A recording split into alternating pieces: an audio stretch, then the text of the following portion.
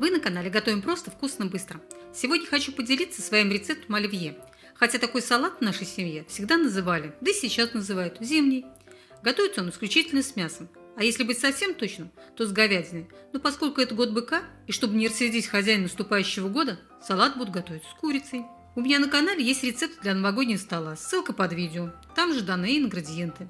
Если вам понравится рецепт, поделитесь им со своими друзьями в соцсетях. Давайте готовить. Начну с нарезки лука. Беру салатный, сладкий. Половинки будет вполне достаточно. Нарезаю его мелкими кубиками. Примерно пол сантиметра. Остальные продукты также нарезаю небольшими кубиками. Чем мельче нарезка, тем вкуснее салат.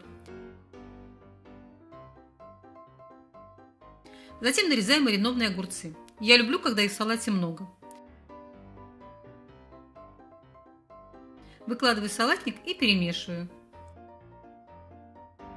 морковь. Ее кладу чисто для придания яркости салату. Картофель. Филе куриной грудки. Можно взять любую куриную часть. Яйца можно нарезать или размять вилкой. Готовый салат перемешиваю. Еще в него идет зеленый горошек, но я его не люблю, поэтому не добавляю.